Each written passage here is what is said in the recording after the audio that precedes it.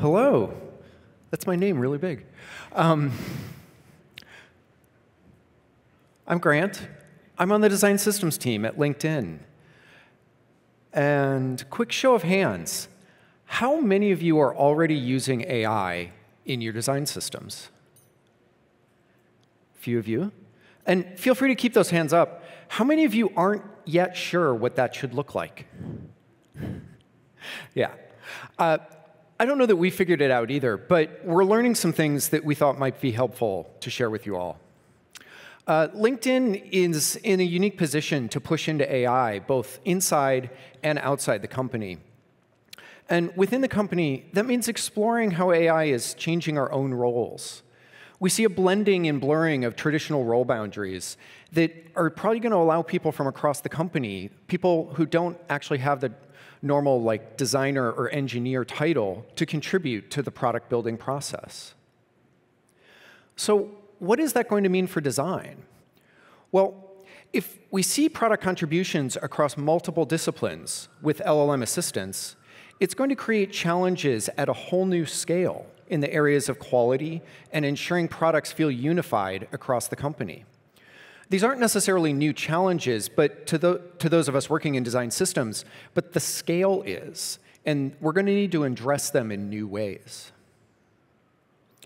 Another thing we've noticed is LLMs can trend towards sameness. You might be familiar with things like ShadCN, Tailwind, React, technologies that LLMs are very familiar with.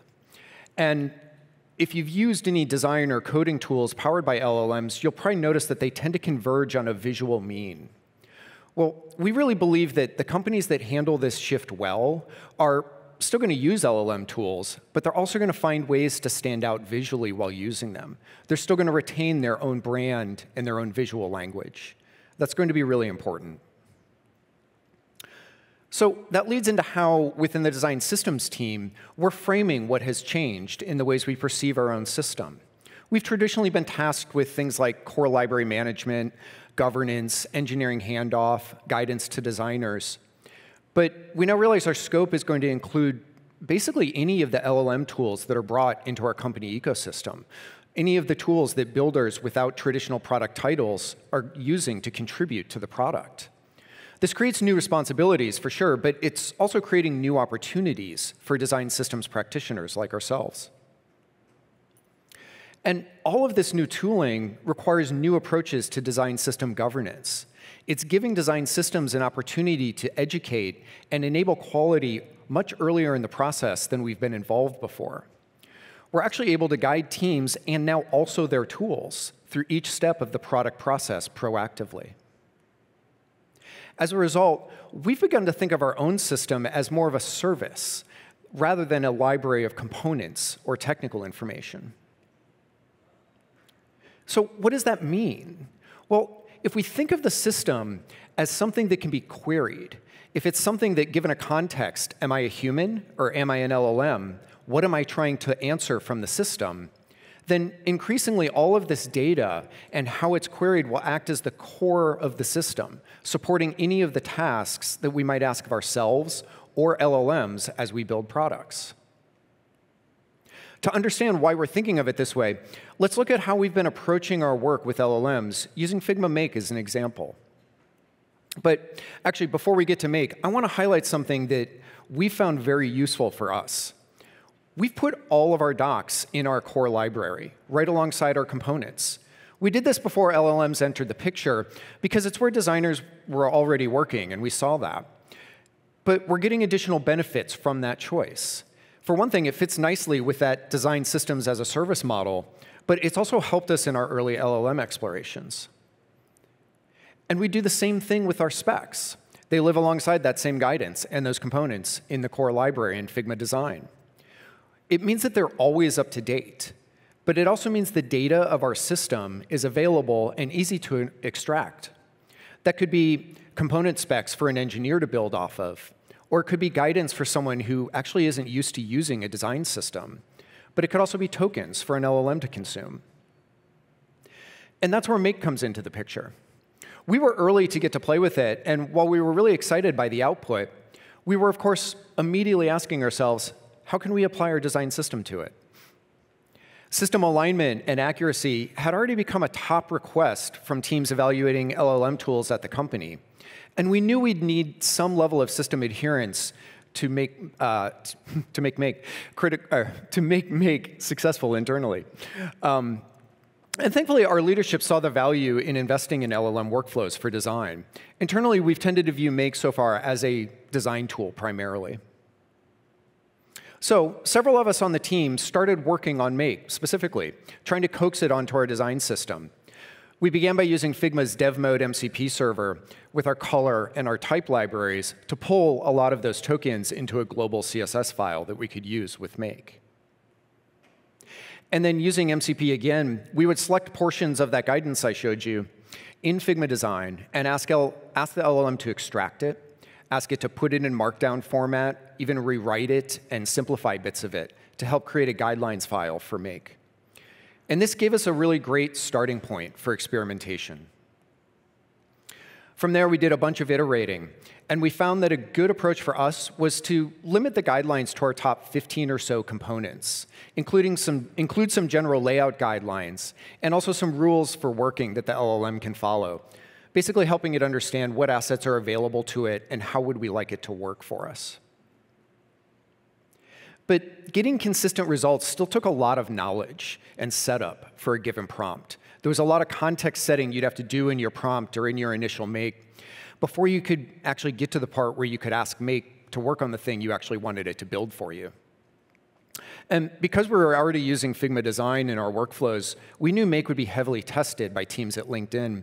So within design systems, we started asking ourselves, what could we do to lower the barrier to entry? We focused on pre-baking a make with special instructions. We used context prompting to ensure that you could copy that make as a template, add your own prompt after our work, and starting from there, get fairly consistent results. This work became the base template that we distribute to teams. And because we were using color tokens from our own system, we could add useful UI features to our templates, like this dark mode switcher. Designers don't even have to remember to ask for this when they're using the template. It just is baked in.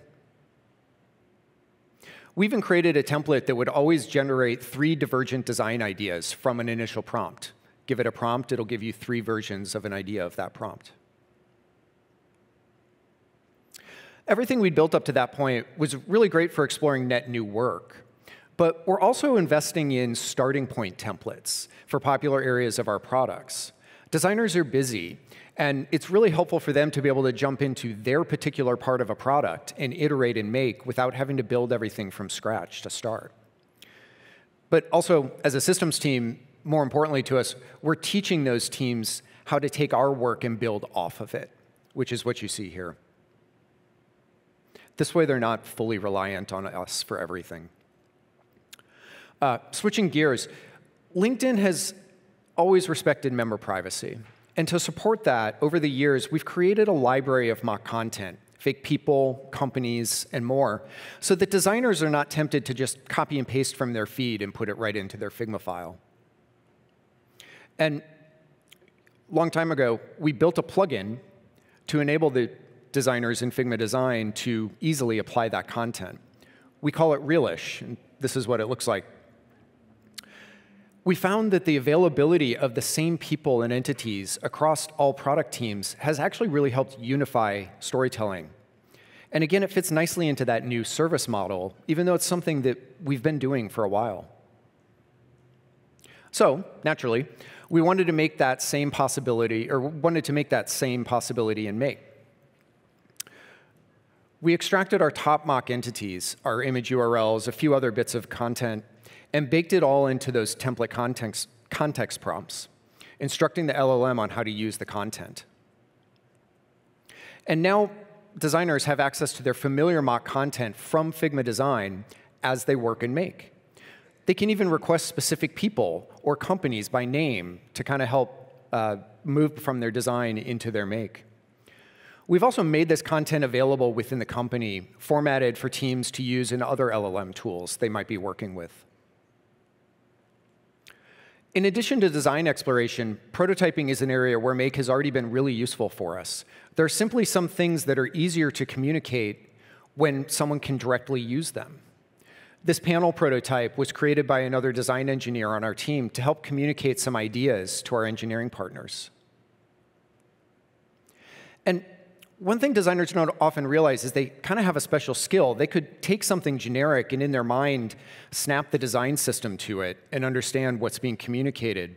But most people who aren't designers really have trouble getting past those rough edges. They find them distracting.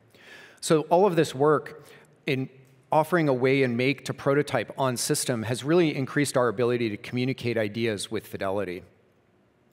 And while it can be a time saver for designers as compared to other ways of prototyping, it's really for non-designers that Make has unlocked an entirely new way of exploring and communicating ideas in the company. This prototype was created by our UXR team to test out some new search ideas. So in all of this work, what are we learning about the ways our design systems roles are shifting? We still need to set and maintain quality for the system, but now that work is spread across multiple tools, both known and even unknown. We don't always know when someone pulls a new tool into the company. We'll always enable on-system exploration and iteration, but it's more critical now as it helps keep stakeholders from being distracted by off-system design. And it makes it easier to see the value in these new rapid explorations that LLMs have enabled for us. And of course, we need to enable collaboration, something that's already been core to our mission, but now we view it through a company-wide lens across multiple disciplines. So yeah, none of this is entirely new, but it's more critical given the broader contributions our products are receiving from across the company. At its core, design systems used to focus really on two groups, designers and engineers. But now we need to support broader functional backgrounds. It's more work, but the benefit of this approach is we're helping teams learn to speak each other's functional languages, collaborate more effectively, and do it all much earlier in the process than design systems has been involved before. And getting back to that idea of the system providing the core support for our tooling, we're working toward making that support as technology agnostic as possible. The system data needs to be available to whatever group across the company needs to query it, using whatever tool they want to use, and provide an on-system answer for their context. So it's more important than ever that we maintain clean sources of truth of our system assets in order to keep each step of this new product development process aligned and consistent. And finally, expect it all to change. We know at LinkedIn we've been early in figuring out ways to apply LLMs to our design system, and we're no, we know we don't even have it all figured out. We've barely scratched the surface here with Make and other work we're doing in this area. But that's why it's a really exciting time to be working with design systems. We help provide the guardrails for LLMs to work within, while enabling people across the company to help contribute to the product building process, sometimes for the first time. Thank you. The work you've seen on the screen goes far beyond me. We have an incredible design systems team at LinkedIn and many teams beyond that can, that contribute to this work. Thanks in particular to Giuliano, Teresa, Sharon, and Ray for their help on this presentation. And if any of this looks interesting to you, we are hiring. Find me on LinkedIn. I'll tell you more.